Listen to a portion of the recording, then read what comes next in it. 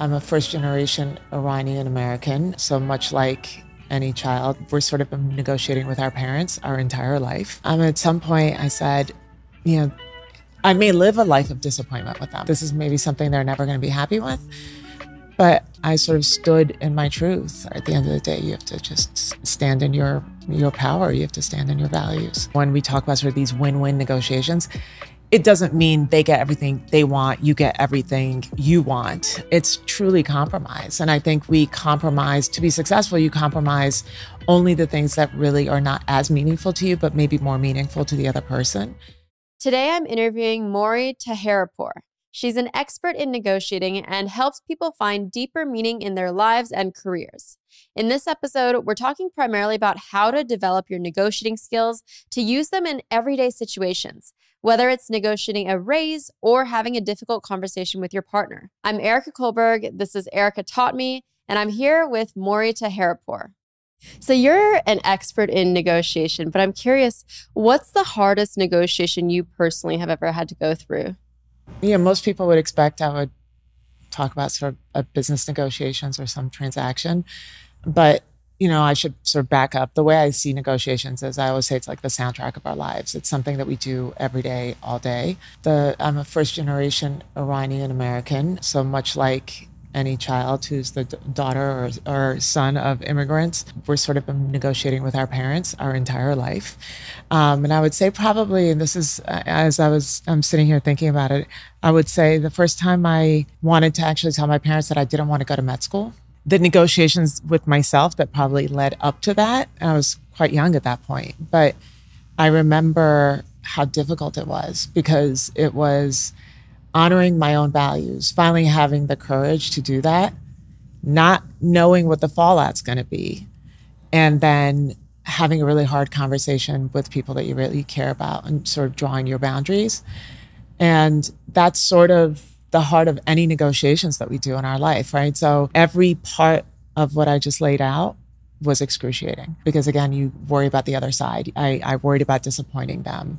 Um, i worried about disappointing myself if i didn't do it. And so that push pull i think became maybe one of the most difficult negotiations it set me up i think for the rest of my life honestly and it was the most freeing in some ways. But it's interesting that the hardest negotiations are usually where the other party is someone or that you care so deeply about because then there are just those expectations of am i going to disappoint my parents? How are they going to feel? I know when i left the law firm that was the it wasn't a negotiation because i had really made up my mind that i was going to leave and i wanted i just wanted their approval and validation to say okay we we believe in you we trust you but that was so difficult for me because I felt like they had sacrificed everything their whole lives to get me to that place where I could go to law school and become this lawyer. And I felt just like such a disappointment to them. Yeah. And it's funny. I, I hope you got the validation that I never got. Uh, but it was that, right? They sacrificed everything, left our country to come to the US because I was so young, they couldn't sort of ship me up by myself. We moved to the States at the brink of the revolution in Iran. Um, so I was I was very young. I was like seven years old. So you know, at that moment where you're about to have this conversation, you're thinking, "But they did this all for you." But again, it's freeing because at some point you have to realize that you're living the rest of your life still, right? And you have a whole life to live. You have dreams and ambitions, and you only pray that those two things, right, their expectations and your sort of wants and needs, your interests, don't come into conflict. Mm-hmm but they did for me. And then it became this notion of sort of continued self advocacy in some ways.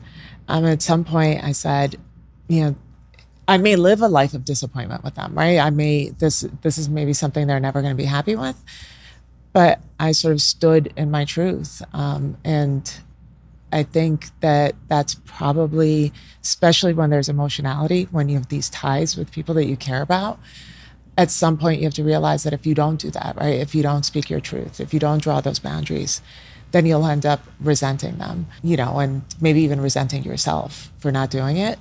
And I think that's what's freeing, right? Because I actually don't resent my parents for any of this, right? I now understand that they did it out of love. They they want the best for you, right? They have dreams for you. Just because you don't embrace those dreams for yourself, it doesn't mean that they didn't love you all the same, right? So what the life that they imagined for me was probably very different than than I know is very different than the life I live now. But again, I'm not angry. I just I'm I feel like this is what I had to do and and you know, whatever the stakes are, it doesn't really matter. At the end of the day, you have to just stand in your your power. You have to stand in your values. Yeah. And so, what was the immediate reaction to the negotiation you had with them, letting them know that you didn't want to go to med school? Uh, my father was very angry for a very long time, very long time. Years. Years. Actually, the first time he was really angry with me was I was still in college. I hadn't even decided that I was not going to go to med school. I literally just said, "I'm questioning whether." yeah, we didn't speak to each other for a very long time. And uh, he was very upset with me. But again, it's taken all this time for me to look back and say, I get it. I, you know, I, I, I understand. Um, we all love differently and, you know, we all receive love differently. But frankly, his way of love is very different than my mom's way of showing me love, right? So she was much more compassionate and empathetic his was sort of dreams shattered because he couldn't go to med school because his mom didn't want him to travel abroad. I have two siblings. My brother didn't go to med school. My sister didn't go to med school. I was like the last hope. and so I think it just took much longer for him to get over it. I don't know if he's actually got, still gotten over it, but it is what it is. What would indicate to you that he has gotten over it? They are both sort of living um, with dementia at this point, but um, so it's sort of hard to even decipher that now. But I think it's just the little things, right? You know, if we're out somewhere and somebody has some kind of an emergency, I swear it used to be. If only you had gone to med school, maybe, maybe you could have helped. But you know, it's those little things that were like stuck into the conversation, or oh, so and so's child just went to med school and they're so, they're so successful, or even dentists, right? Oh, she's such a great dentist, and you know they go on and on and on, and you just know it's hopes and prayers that were never answered. But. Yeah. It's interesting how parents have these set expectations for us and then you know, I also wanted to go to med school. I wanted to be a doctor to help people. And then it was halfway into college that I took this class called organic chemistry. I realized I was horrific at it. It was my first C in my life. And I was just like, okay, this isn't going to work out. So I had to tell my parents. But to lessen the fall, I said, well, I'm not going to be a, a, doctor, but I think I'll be a lawyer. so, the second best thing you could be, yes. Yeah. So that was my compromise to make my parents happy. And ultimately, it, it worked out. I love that being a lawyer, you can equally help people, but. Right in a different way. Yeah, it's it's not what they envisioned. Exactly. I think when coming to negotiations, everyone wants a concrete outcome and a feeling of closure. But for that negotiation that you had with your parents, it sounds like you still don't have that feeling of closure. How do you deal with that in negotiation? Well, first of all, you have to be really clear about what it is that you want, right? We so often put our needs aside. You know, I talk about sort of pleasers in my book, and these are sort of people that want to be of service to other people, right? Their goal is to make others happy. And the mistake that's often made is that, you know, their happiness has to mean your unhappiness because those two things are not mutually inclusive. And in some ways, you know, when we talk about sort of these win win negotiations, it doesn't mean they get everything they want, you get everything you want. It's truly compromise. And I think we compromise to be successful, you compromise only the things that really are not as meaningful to you, but maybe more meaningful to the other person. Because if you negotiated away your, what I call your non negotiables, then no matter what the outcome, you wouldn't be happy anyway. So it's that notion of creating that sort of internal balance, if you will, right? That sort of inner critic, inner dialogue that we have that says, you know, as you weigh this over time, that yeah, the decisions I made were the right ones.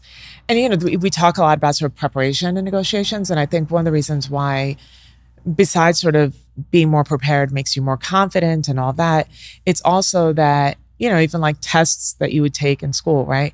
If you don't do as well as you want, at least you say, I was fully prepared for it, right? You can't then sort of be angry at yourself for not doing your best. And I think it's the same thing with us, right? You say at least I stood again in my truth, right? And and I communicated as difficult as it was. I communicated my needs and in some ways created ultimately some sort of a compromise because you know, if the end result is they want you to be happy too, it's just that life isn't going to be what you both exactly imagined, then I think it becomes sort of this journey, right? In these situations where there's relationships involved, whether you're married, your kids, what have you, there's no sort of end result, right? This is life.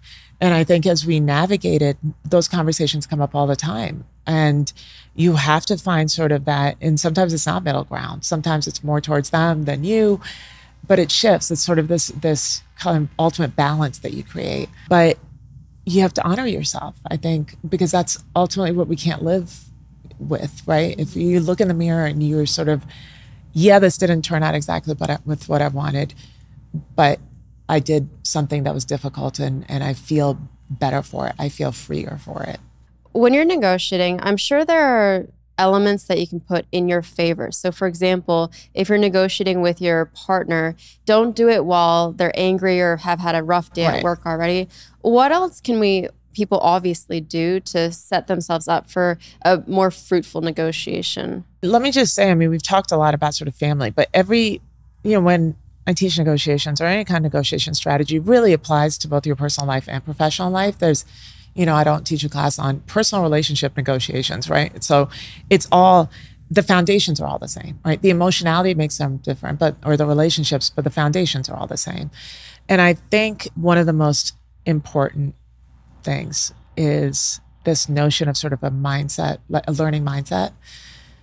We are oftentimes so sure of the outcomes that we want that we sort of lose curiosity right? And then we start leading with with sort of certainty.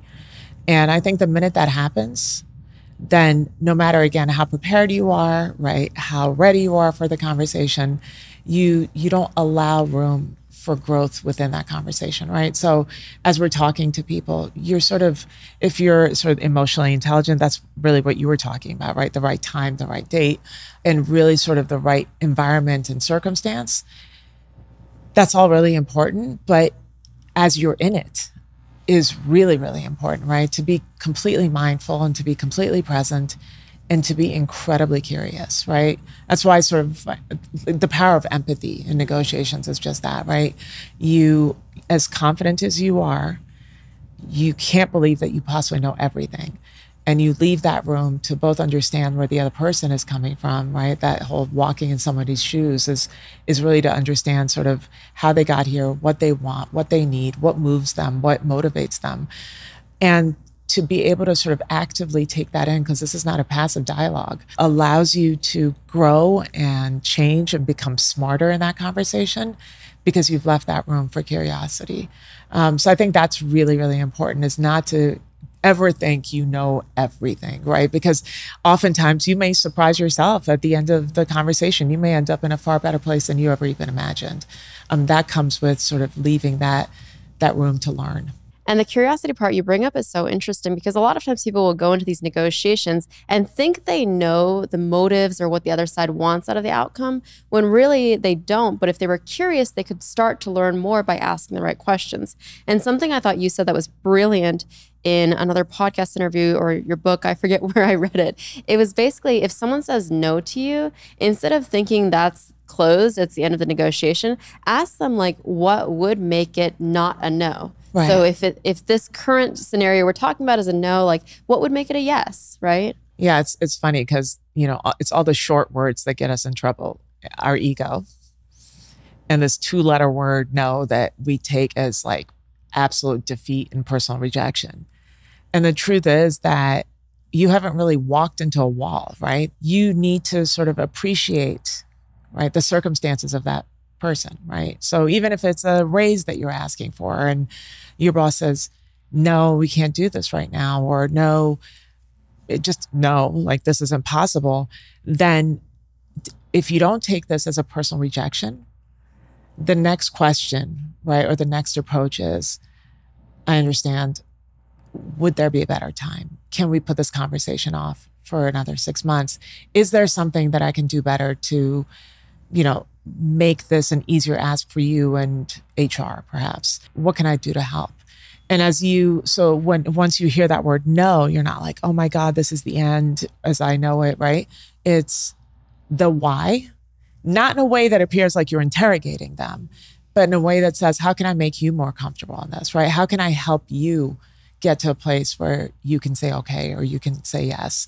And it creates almost immediately the sort of collaborative problem solving approach to it as opposed to you having this sort of defeatist attitude. And I think it's that's really all about mindset, right? The other part of it is coming in prepared to offer those alternatives, right? It's really the ultimate sort of scenario planning. And no matter again who you're doing this, whether it's a family member, whether it's it's a professional relationship, all that we can prepare ahead of time is almost two dimensional unless you know the person really well, right? You've Googled them, you've learned about them, or, you know, they sort of, you haven't really peeled back all the layers of that onion. So you can sort of imagine um, or even make some assumptions about what their interests are, what their response to you is going to be. But until you actually test that in the conversation, you don't really know, right? So rather than thinking, I've made a decision, this is what I think they want, and walking in only in that lane.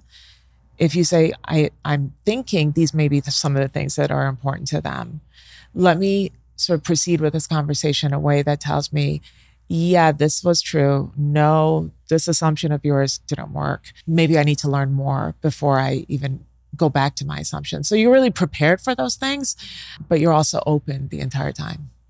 That's so interesting. So it's almost like you're walking in having your ideal outcome in mind, but then all of these variations of the ideal outcome so that you ultimately can give them more choice. Absolutely. It rarely does your bottom line change, right? Our bottom lines are sort of those non negotiables, mm-hmm. if you will. But things like your goals, right, that you want to achieve, those should stay malleable. Um, you know, you you should absolutely be aspirational. But again, being so present in this conversation you know being where your feet are right? That that whole time as you're getting information you're processing. And oh by the way you could say you know maybe we should pick this conversation up another time. I want to think a little bit more about this. Maybe i can come back with with some alternatives for you that you may find more appropriate. Um, and i think that's a more thoughtful approach. Again, you sort of check the ego and say, this wasn't a rejection of you.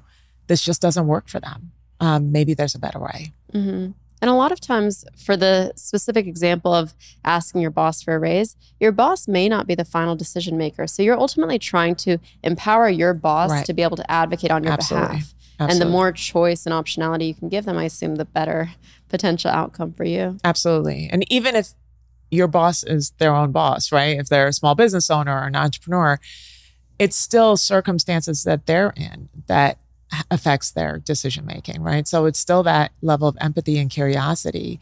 So again, I think this notion of how we internalize, right? So this where imposter syndrome comes in and all of that, how we internalize the response that we got and how we process that, the door is not shut this is all about what you can do to maybe make this an easier decision for them.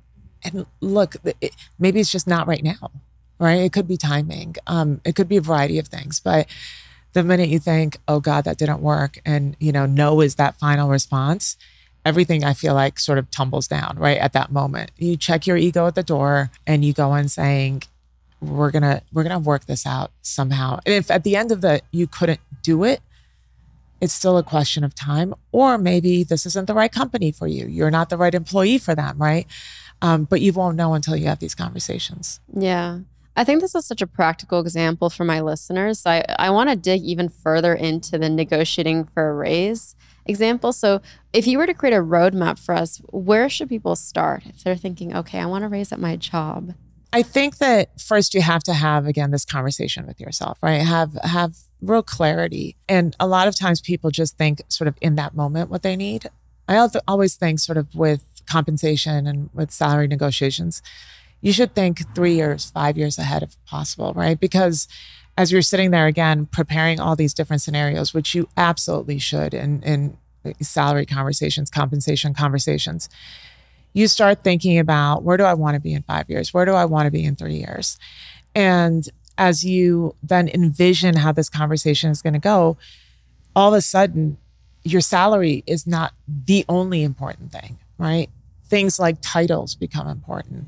Things like the type of projects you want to be involved in become important. The group that you want to work with. Maybe you want to go to law school, right? So, if that's the case, if you're planning for business school or law school in three years, then at some point, maybe you want to look at a more flexible schedule or sort of a tuition reimbursement type of thing if you want to go and take some preparatory classes, right? So, as you envision your life um, looking ahead, then you start seeing all these other these options grow out of your your thought process when you go into the salary negotiations or the compensation conversations and i'll talk about that in a minute but sort of what to think about additionally you are now going back to exactly what we were just talking about, which is you can now present options, right? Obviously, money is always important, right? But if they say no to that, you're thinking, all right, I have other plans. What about a change in title? What can I do to maybe move into this other group that has these really exciting projects that sort of are are are leading to better ROI for our company, right? So then I can tie our profitability to the types of projects I'm involved in, which will give you added sort of quantitative measures, tuition reimbursement, sick leave, working more from home, having a f- more flexible schedule. So that's, I think, really important psychologically for yourself because, again, it's not the no, it's that I have other plans. And so let's work through this together. And for them, right, it's not an easy salary conversations aren't easy for really anybody especially if they have a stake in you right? They don't they don't necessarily want to lose you right? So you're so, sort of also sharing with them some of your plans right? Where you want to be what you want to do. There's there's sort of more transparency involved in this and i think that's no matter what the outcome of this particular conversation i think that's a really great dynamic to create in the long run because you're now sort of it's it's shared goals right that you're working through going back, uh, I think the most important thing um, for salary conversations, comp- compensation conversations, or one of the most important, is what I think is important for any negotiations that you do is sort of the the recognition of your worth and your value.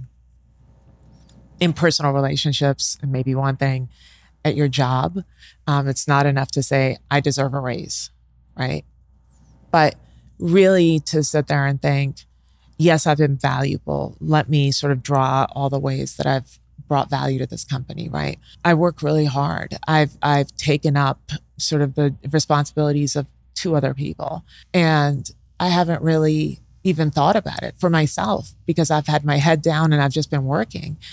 And when you have those conversations with yourself, it both strengthens your own sort of knowledge of your own self worth, right? So that inner critic sort of dies down a little bit. Now you're sort of becoming much more courageous, even and, and much more self assured. But you're also presenting then an argument that has some real sort of data that's attached to it. And so now that becomes uh, an opportunity for storytelling that is powerful, but can be understood sort of from both sides, not just from your own lens. I think it's interesting the point you brought up about one person now taking on multiple roles. We've seen that a lot in the last few years where your job description was one thing when you entered and agreed to the salary, and now suddenly you absor- absorbed the roles of two, three different people. That's kind of an interesting point of leverage, too, that you can have saying, okay, this was my job description. And actually, now in addition to these things, I've done this and this and this. Right. It was a pandemic, right? We all rolled up our sleeves. You did what you had to, right? And, and I think, you know, for me, it was like head down. I had to sell books. I had to sort of do business development in time when the opportunities had sort of dried up because we didn't know what was coming, right? For companies, it was really the same way, right? So they had layoffs and and as a result of that, if you were that sort of really valuable employee to this particular group, that was great. You stayed on. But it also could have meant that the people who were laid off, those were the responsibilities that you took on. And in that moment, you know, when a lot of us had to learn to pivot and just, you know, sort of the grit, right? Just to get through this, we took on these responsibilities. We worked so much harder. And, eh, you know, again, at least for me, and I've worked with a lot of small business owners, I think we didn't even realize the amount of effort that had gone into that, the amount of work that we had done. And so I think that, that again, sitting back and doing this self reflection, ahead of a salary conversation or just because, right? This is that self worth. This is really recognizing what your value is to yourself, to the people around you. Um, I think that's really a powerful conversation we need to have anyway. Particularly in times of change and and and moments where we we deal with challenges and and things that that we actually very successfully um, get through to look back and say, what did I do? How much effort did that take? How successful was I at doing that? And I, I don't think we have those conversations with ourselves enough. If you do that and that becomes sort of a way to sort of celebrate yourself, all that you're about, um, your resilience, I think that's such a powerful thing that over time, then it's not hard to go to your boss and have that conversation. Then it's not hard to turn around to your partner and say, I've taken on childcare and the you know I'm teaching the kids and I'm making dinner that doesn't become sort of in your face argument. This becomes the really understanding what you've done and then over time communicating these things and creating those boundaries so you're not burned out. They're all so interconnected but it always starts with really understanding acknowledging and then being able to communicate your self-worth. That's so interesting how these maybe internal doubts that people have really impact their ability to negotiate because it's so true. If I don't feel confident that I actually deserve a raise, even if I go in and say, I would like a raise, if it doesn't exude confidence, I'm not going to get it. And having that data, being able to say, I did this and this and this, does give me the confidence. You know, Erika, I think that's, I think this notion of self worth and self value is really at the heart of so many things we all struggle with it, right? The majority of people are challenged by imposter syndrome, right? This is something that's really a shared experience by so many people, but it's a really lonely place, right? I think imposter syndrome is is very lonely because in your mind, you know, again, these are the conversations you're having with yourself. You think that a nobody really knows you're struggling and you're not going to be the one who's going to tell them but it's also that there's sort of this shame and guilt associated with it as well right? So so it's sort of like you're in this this cocoon of self-doubt right? And the conversations that inner critic that inner judge is very damaging from so many different you know from so many different perspectives in so many different ways. But in in sort of the kind of negotiations that we're talking about when you can't convince yourself when you can't persuade yourself of your value, how on earth are you going to persuade somebody else? It starts with you. That self belief allows you to tell that story. If you can't tell the story to yourself, if you can't look in the mirror and believe it, persuasion becomes incredibly hard, if not impossible. It's funny because I definitely struggle with imposter syndrome. I mean, there are so many times now in my life where I'm like, what did I do to deserve this? Like, actually, I'm not the smartest person in the room. Like, I should not even be talking to you. Right. And I, I struggle with this imposter syndrome. But then, actually, for business negotiations, I have a character. Like I put on this step into it. Yeah, I just step into it. And actually in negotiations I'm I'm quite good. But it's not in my personal life negotiations I feel like I deal with the imposter syndrome and the doubts and I don't know. I have I don't know. How would you digest this? I have two characters. Um well, let me start with this. So I I too struggle with this, right? So I'm sitting here going, she's such a superstar. Um, I'm so excited, such a privilege to for you to actually have invited me to have this conversation, right? So that's shared that's very human, I think. And I'll go sort of a step further. There's a certain sense of humility involved in that that I don't necessarily think should be ever lost because that allows us to prepare better.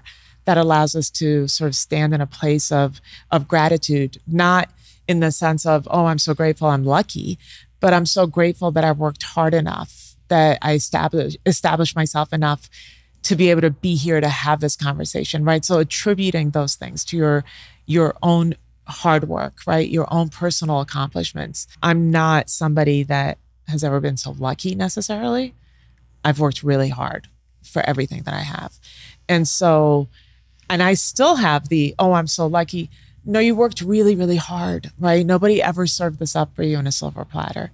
And I think that for you, if you can put on this sort of character, which is really interesting because I'm sort of the opposite, where I am my most authentic, maybe the most vulnerable, is actually in front of my students, right? In a classroom. Otherwise, sort of in my own personal life, I'm not as open. I'm not as transparent. I'm not as vulnerable. And there's a whole psychology of that. So if one day we have a therapy session, we can sort of go back into that. But we choose when our full authentic self sort of shows up, right? And we create these sort of guardrails to ensure that we're not sort of going off the the path and then not being able to find our way back, right? So we create these sort of boundaries for ourselves, whether it's in our personal life or professional life. But I think what we have to realize is where those sort of, where is that knowledge transfer, right? What allows me to be so strong, be so, strength, vulnerability is strength, right? Be so authentic in this situation and step into my power and understand sort of at that moment that I'm I'm worth it, right? So even if this character that you step into, it has to originate somewhere, right? That's sort of the maybe it's the the superhero on you. You know, I don't know. Like you're you're reaching, you have to dig in somewhere.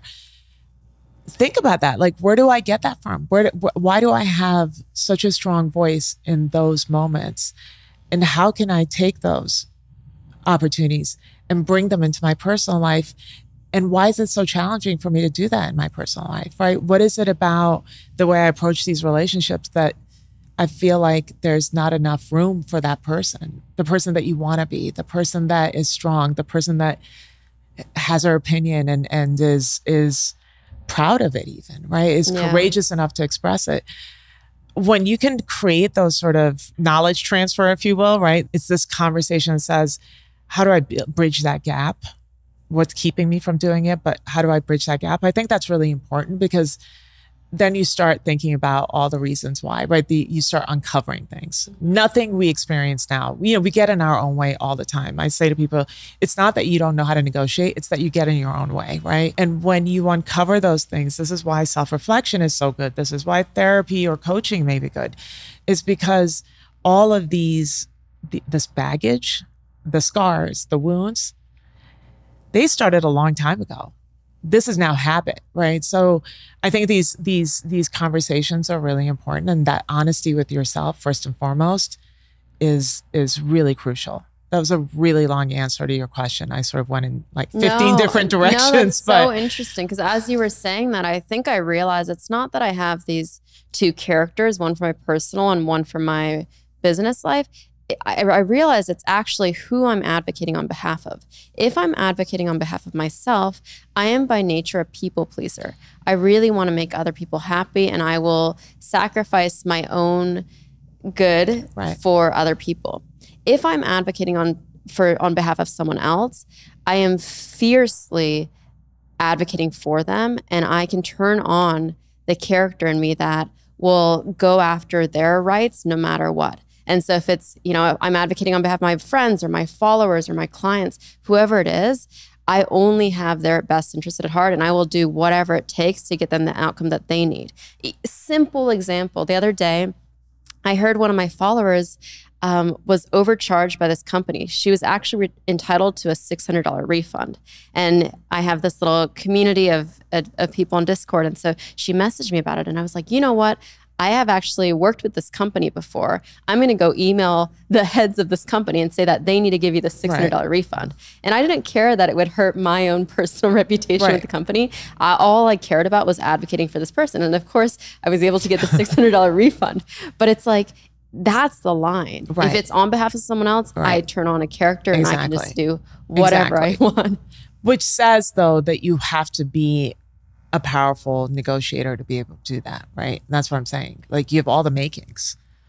there's a lot of gender dynamics and you know um, in, in this particular scenario by the way and and i think that that this notion of i can advocate on behalf of anybody and everybody right and i can do a really great job right i'm strong in my stance i'm confident successful right and then when it comes to yourself that's again that's where that the inner judge right that all of that comes in and it goes head to head with this notion of it's not all about me. I have to make room for this person, right? This is, I want to make sure that they're happy. Why is it that we feel like, again, those two things can't coexist, right? The, the happy you will make your partner happier as well, right? We are better, we give back to the world when we are full, right? When we're fulfilled. And we're not tired and we're not burnt out, right? So if we actually told ourselves that, then maybe, just maybe, self advocacy and self love will make us more courageous, will make you more like that person who's advocating on behalf of somebody else. Um, the other reason why we do that is because we don't want to be judged, right? We don't want other people to think, especially sort of these gendered roles. I don't want them to judge me. I don't want to feel greedy, right? We're so worried about how the world sees us but understand, and again, imposter syndrome, right? Understand that that's how you see yourself, right? You are projecting onto somebody else the feelings that you have about yourself. It's not greed. It's, it's, you know, especially if somebody's invested in you, they can understand that you need fulfillment and happiness and why these interests matter to you. It's how you communicate that right? But again there's there's guilt there's self-judgment there's the, you know it you put all of those ex- ingredients together in a pot and it's combustible right? That's and unfortunately you're at the the receiving end of of all the sort of the the mistakes and the fallout. I so wish that we would really understand and i say we because i'm i'm guilty of this myself that to draw again those boundaries it's not this notion of of rejection for your partner your client. It's a no, it's this notion of compassion really. Compassion for yourself and compassion for that individual because you're saying i can do more for you when i'm fulfilled. I can do more for you when i'm not exhausted I can do more for you when when I'm actually sort of addressing some of these uh, tasks that I have and these responsibilities I want to fulfill.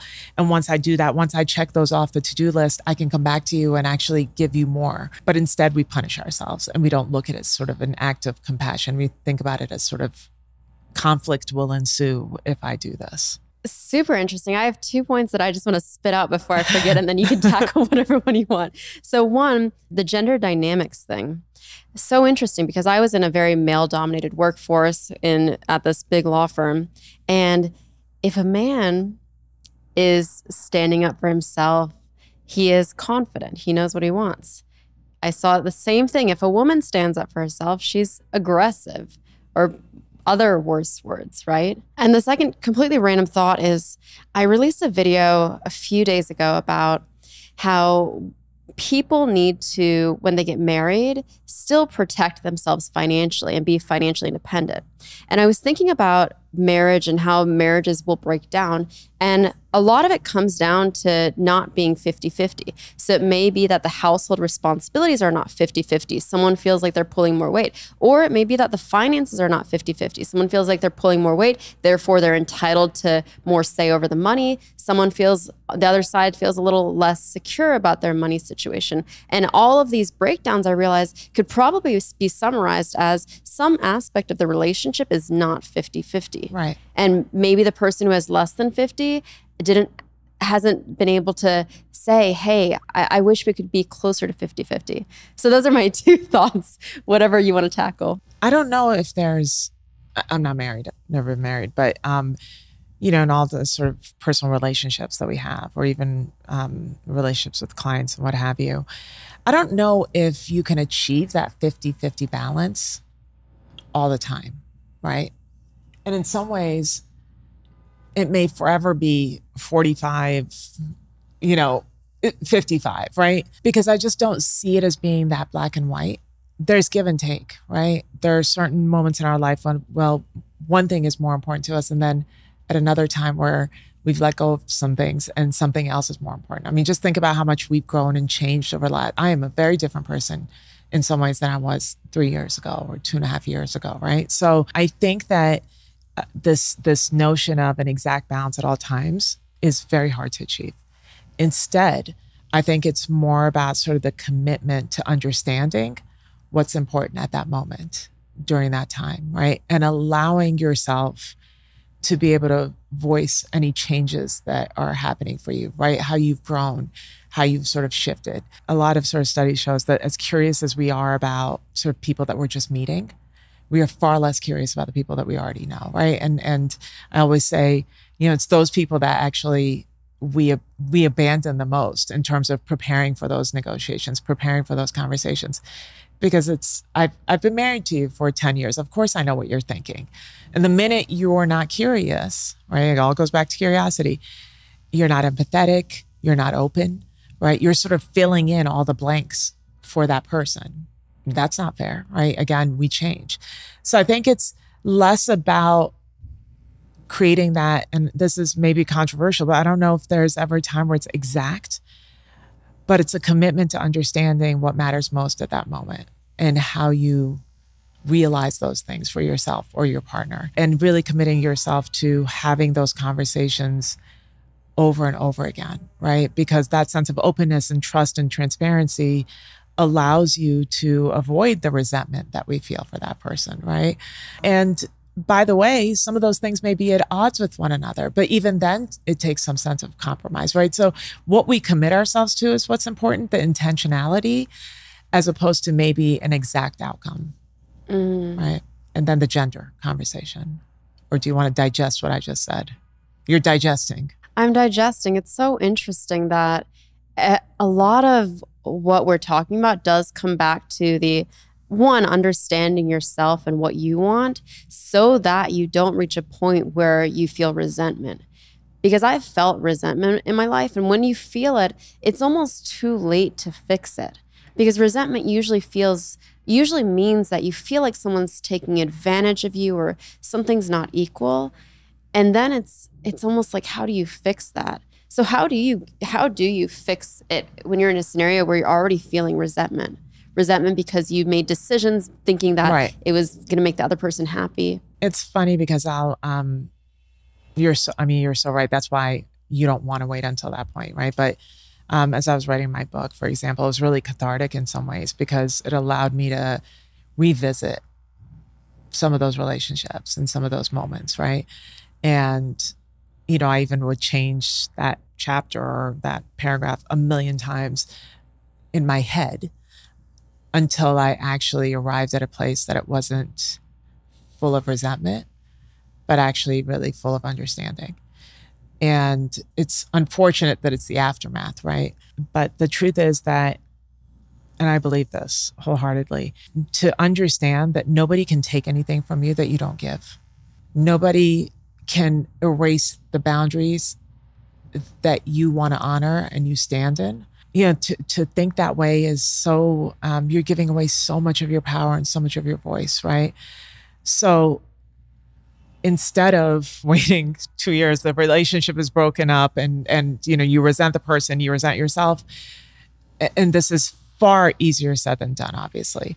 But if you, you're sort of doing this act of sort of self-reflection constantly, right? And, and you're allowing yourself even to, to better understand what's happening, then you may start honoring your values, right? You may stand up to, and I don't want to say stand up because it's not confrontation, but you're you're speaking it, you're conversing, you're having these conversations.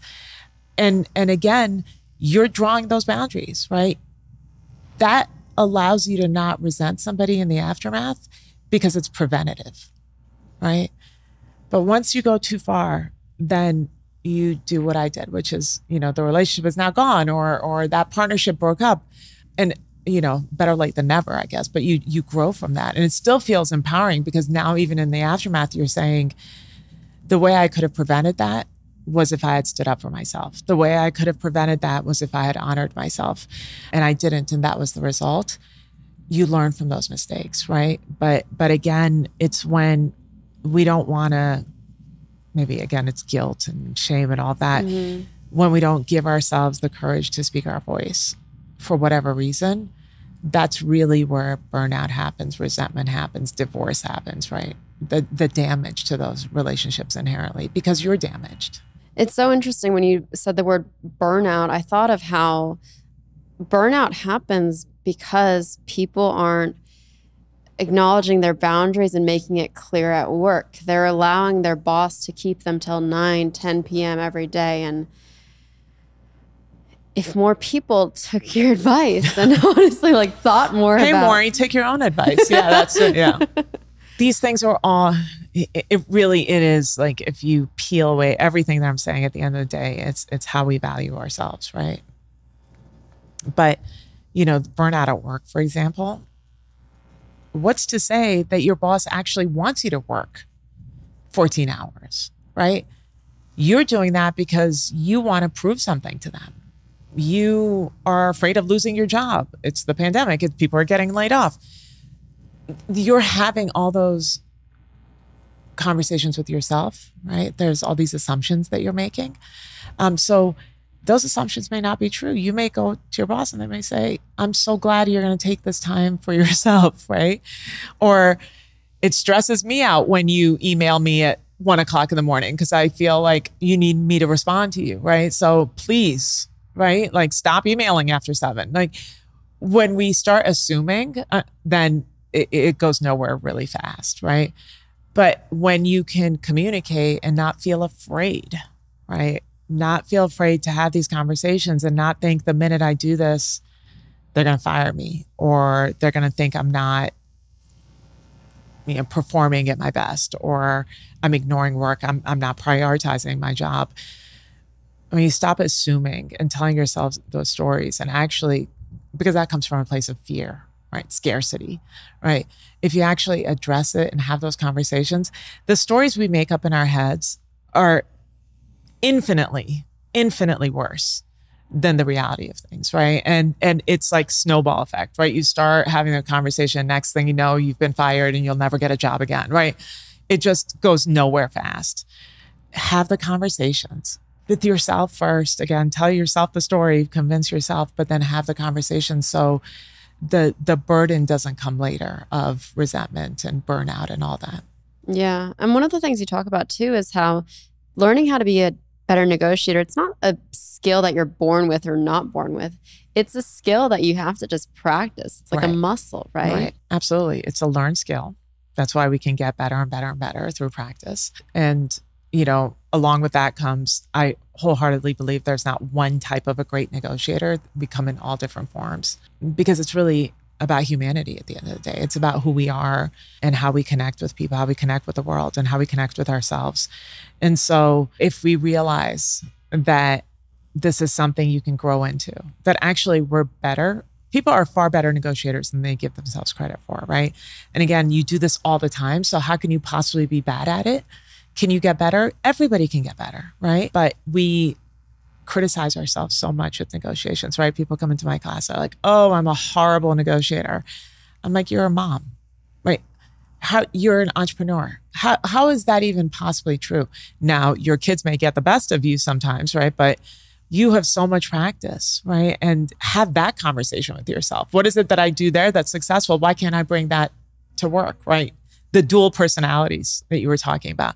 We don't give ourselves credit. We don't allow ourselves to think okay, let me learn from that mistake. I can only get better. We just all of a sudden say, I'm not good at this. So I never want to negotiate a car car deal again. Let, let my husband do it. Or um, I'm really horrible at this. So I'm so afraid of asking for, you know, a discount from AT&T or, you know, whatever it is. Right. So giving ourselves more credit comes from this place of understanding that, hey, you have, you have far too, too much practice to think you're not somewhat good at this.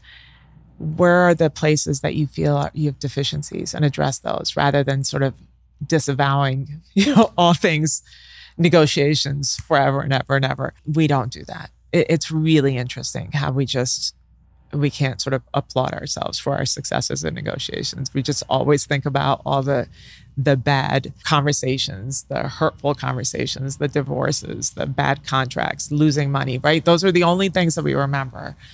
But in fact, there's a lot of successes that we can actually reflect on and learn from along the way. Yeah. And with the negotiation, practicing negotiation thing, there's so many little negotiations that people can do Every in day. their daily lives Every day. that have no, there's no potential loss. I mean, Right. if you go to AT and T and try to negotiate your phone bill, the best outcome is they'll say, "Okay, we'll cut your phone bill down by twenty dollars." Right. The worst is they say no, but you still got some practice in. Right. You know? Right. Again, it's the defeat, right? That sort of we reflect on so much that they far outweigh any kind of success. And all the little things, you know, like what did I do there that was so successful that maybe I can do here? We don't do that because we're sitting there sort of wallowing in how you did so poorly when you went and bought your car and you just know that you got the worst deal because you came back home and you looked up the Kelley Blue Book values and you were ha- you, I've been had, right? Okay. So next time look at the Kelley Blue Book values ahead of time, right? This is not the be all end all, right? What else have you done that has really worked and how can you replicate those things? Yeah, our scars become like tattoos for us, right? These are not things that we think we we can learn from. We just carry the burden of them forever. Whereas our successes we tend to forget and not celebrate. That's so true. And the way, and also the words people say about us. People can say a hundred nice things about Yeah. you, but you'll remember the one person who criticized something about you Yeah, forever. forever. And when they compliment you, you know, it's very hard for you to say thank you, right? Because it's it's kind of like cognitive dissonance, right? The story that you've told yourself of yourself, right? The the way you see yourself in the mirror, right? The way you feel about yourself is negative. It's not really reflective of who you really are, but that's what you believe about yourself. So when somebody gives you a compliment, you know, let's say you you don't feel good about yourself. Let's say you look in the mirror and you're like, I'm fat or I don't, you know, I wish I could lose weight. The minute somebody says, Oh, you look great, right? What have you done? Instead of saying thank you, because at that moment you're thinking, do they want something from me? Right? Like, are they lying? Is it just, are they just trying to be nice to me today? The way you saw yourself is negative enough that what you hear again it's co- it's like cognitive dissonance it's not it's not reflective of what your truth is so you kind of push it away whereas the minute somebody criticizes you oh yeah that's in line with your truth um, and that's why sort of we we we take it on and we hold on to it and we reflect on it and we can't let it go um, because it, again it starts with how we see ourselves I think that's a great message for people that negotiation is a skill that can be learned. What about emotional intelligence? That's such an important part of negotiation. And I feel less confident that emotional intelligence can be learned. What do you think? oh it can absolutely be learned. really? Oh, absolutely. So just let- let's look at emotional intelligence from this perspective. Um, somebody who is constantly distracted, right? When you're in conversations with people, you're staring at your cell phone, or you know, you're you're never really present, right, in your life. You miss a lot of things, right? And you do it and don't even know it, right? A lot of times, yeah, I always remind my students like, put your cell phones away. There's no technology in this room. And it's really uncomfortable for a lot of people because it's like a lifeline that's been cut off. And then they leave it on the desk. So I'm like, no, no, no, not just turn it off, just put it away, right? Because we're just as distracted because now you're thinking about what you're missing, right? Which is so crazy. But if you understand whether it's you miss something and it damages the outcome of a negotiations. Or maybe somebody says I, I can't even have this conversation with you because obviously it's not very important to you because you keep looking at your text right? So you you've damaged whatever that relationship is. That's too late. But if again you sort of have some amount of self-reflection you're thinking well where did i go wrong? Right? And, and really take that hard look. You quickly realize they feel that way because my cell phone was on. They feel that way because when when I got texted, like I I had to look at it, right? And it was in the midst of them telling me something really important, right? So I messaged to them that they're not really as important as this is. It takes self reflection, it takes some honesty with yourself. It, it, even maybe takes you to ask what happened, right? What what did I do that didn't sit well with you? And that person becomes inherently more emotionally intelligent because they realize that they missed the person being angry at them. They missed how the person reacted at that moment when you picked up your cell phone. That you missed potentially, right? What you were messaging to them. So you're not even aware of your own feelings and your own actions, right? This is a really, and I understand, very sort of superficial way of talking about it, but you learn, right? And so I believe that you can become far more emotionally intelligent because you understand that that we you miss things when you're not right when we can't use all our sensory skills right to read a person to be in a conversation it's so disruptive you know if you look at this even from a strategic perspective you know you're losing right this is this is a real loss um, both maybe again in the damaged relationship but how much less you are experiencing in your life right you're not even really present in that so we do learn. I think you have to be really, really open and, and self reflective to be able to do that. And then hone in on the things that you can do to be better and be more aware, right? Maybe it's that you're a horrible listener and you've been told that many times and you've brushed it off when it's like your own personal relationships. Then you're like, okay, so now everybody is telling me this. This might actually be true. So how can I be a better listener? And then you work on that, right? Because that's an element of being emotionally intelligent. So there's so many different elements to being more emotionally intelligent that I think all those things can be learned and improved upon.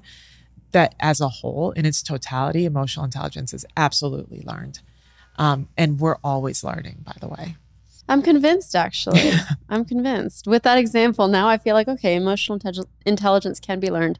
What What's something when you first started this? Um, when you first started to study the art of negotiation, you came in believing that you now believe is not true. So many things, I would say. I honestly, even let's go back to sort of teaching, right? I I thought that it had to be taught a certain way, right? That it was sort of the strategy and and the foundations, and um, that's how I had to communicate and deliver this information to be in line, more in line with how it that story was being told, right, by academics and podcasts and and books. And then when I sort of really reflected on the negotiations, the way we started this conversation, right? The the negotiations that I've had in my life, it changed the way I saw negotiations as a whole. Because I realized that it wasn't just those transactions that I had done, right? The conversations about money or contracts or what have you, that this was so much a part of my being, right? My every experience, that sense of we do, in fact, do this all the time, that it can't be taught prescriptively because we're all so different. This is human experience, right? So you're not baking a cake. You're every person is different, every relationship is different, everybody's values are different. So, you know, just that knowledge, that understanding changed everything for me because then I, I stopped thinking that you had to be a certain way or act a certain way to be successful uh, I stopped thinking that that you know there was no malleability or shades of gray when it came to outcomes, perhaps, right? You know, we always say like, oh, if you got more money out of this deal, that's that's a win. Well, is it? Because what? How did it maybe damage the other person, right? What was what was the outcome of that? Or if you sold this item for less, you were taken. Well, were you? Because you also built a really great relationship in the in sort of the process of this this conversation this negotiations so that person is now going to be a return customer and that's going to bring you value in perpetuity right so the looking at negotiations from a really black and white perspective and understood that actually the beauty of it all was absolutely in the shades of gray, right? That that people are different, conversations are different, that it's elegant. It's like I always talk about it, it's like this elegant back and forth. It's this dance. I'd say that was the biggest thing. Second biggest thing. I know this is a long answer, but second biggest thing was that where emphasis should lie in this process of negotiations. It wasn't that transaction, right? It was absolutely sort of what we do before that, which is when you meet somebody, when, you know, I call it information exchange, but it's first meeting somebody or if it's your partner, the sitting down with the intentionality of having this conversation, the humanity, right? The, the being open to learning about this person, not because you're about to go through a contract discussion with them, but because you're just genuinely interested in this person, right? those all come before you even start a transactional conversation. And when I really got that piece of it, I realized that, well, the reason why so many people don't like negotiations is because the transactional conversations, without knowing that person, without the human connection, without the empathy, without sort of those, the rapport being built, are these really tough conversations that are actually truly black and white, right? You have more money, you have less money. You can do it, you can't do it. That step before it allows for sort of the, that that the back and forth, right? The the humanity, the connection to that person. So I would say that's probably the second biggest thing and it's probably what I love teaching the most because then I believe that most people are actually much more comfortable in conversations. That's sort of a, the comfortable place. The transaction is not. And when they realize that they can actually spend more time there, because of that, they'll spend less time on the the actual transaction. The negotiations all of a sudden becomes just a conversation, and this is far more comfortable. And I think that changes everything, right? It's it's a process. It's it's not fast. It's not meant to be efficient. It's meant to be sort of a slow walk. Um, and you're walking sort of side by side with this person. Nobody's trying to run ahead all the time and force something down somebody's. It's a shared experience. I think those are those are probably the biggest things. And again, it changed not only the way I teach, but the way I see it. Sort of this is sort of my love affair with it. Really, like where it all kind of starts for me is the humanity of it. So, for the last 18 years, you've been teaching negotiation at Wharton. If I were your student at the end of the year, the final exam, what would cause Professor Mori to fail me? What would what would be the key points to you that okay, Erika clearly did not learn anything in my class? It's really never happened. There's not a final exam. Um, there's they do a paper at the end of the semester, but I'm sitting here thinking that this is the privilege of having taught as long as I have at sort of such an incredible institution. Um, you know, I'll, I'll talk about my undergrads first. At some point in the semester, the outcome of the exercises don't mean as much to them. They never meant anything to me from the first place. Like I don't I don't grade them on how they do in these like negotiation role plays, right? I I always say it's the process, not the outcome that matters. But at some point in the semester, for some it happens earlier, for some it happens later, they get what the class was all about and we are collectively so transparent with one another. It's such a safe place. We're all so committed in a way that feels like an investment. Maybe that's why nobody really ever fails because I sense that they got it. I sense that this is about life. This isn't about, so it's not a math class or anything like that. It's sort of this journey that they've taken and they grow into something. And some people get it again, they get it immediately because this is a place that they can go and be open and learn about themselves. And for some people, they're kicking and screaming for some time because being open and being vulnerable is very difficult. But when they get it, they really get it. So, eh, how can I fail people for that? Right? Like we cry at the last day of class, right? We are, um, we're so deeply connected. And that seriously, when I say we cry, we we cry at the last day of class. But it's about sort of love and connection and and this realization that we just went through all of these things together. You know, think think about sort of the pandemic, right? All these difficult moments, whatever the stages in their life. We've grown together collectively. We've experienced things collectively. I've learned about them. They've learned about me. there's acceptance. Unless you've just never done any of the assignments from beginning to end because the assignments are aligned with their growth. They do journal entries, they talk about what the mistakes they made, what they learned. Unless you do none of those, or you miss classes because class is mandatory, then okay. But as long as you're committed and you come to class and you're committed to your own personal growth, then that's all I need. I would love to sit in one of your classes one day. Can I come one day? come, don't come the last day. You'll be like, why are all these people crying? What is what is happening here? Um, but yeah, it's it's um it is it's magic.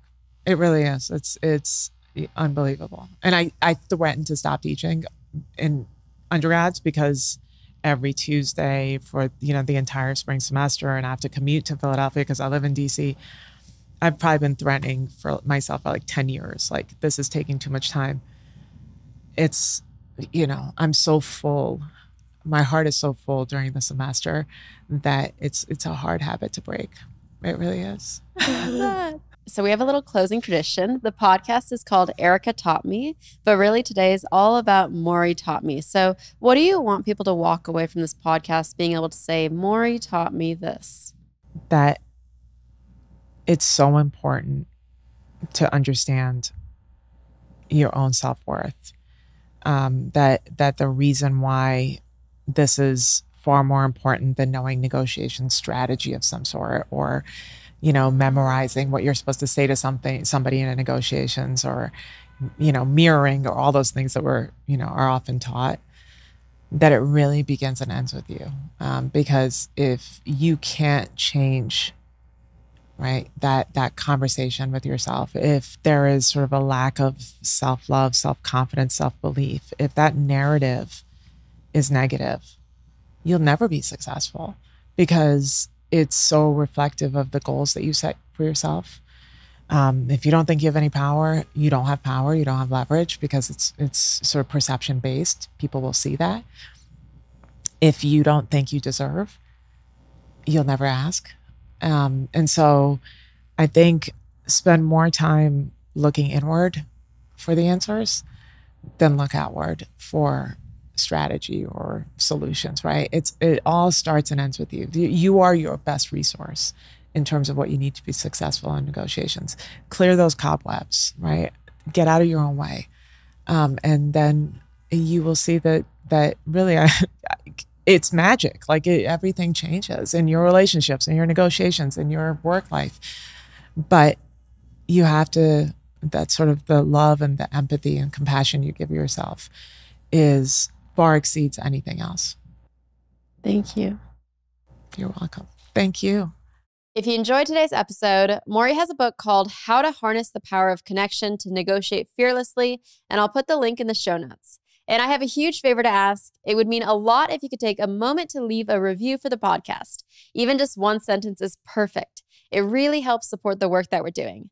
Thank you for spending your time with me today, and I'll talk to you next Tuesday on a brand new episode of Erika Taught Me.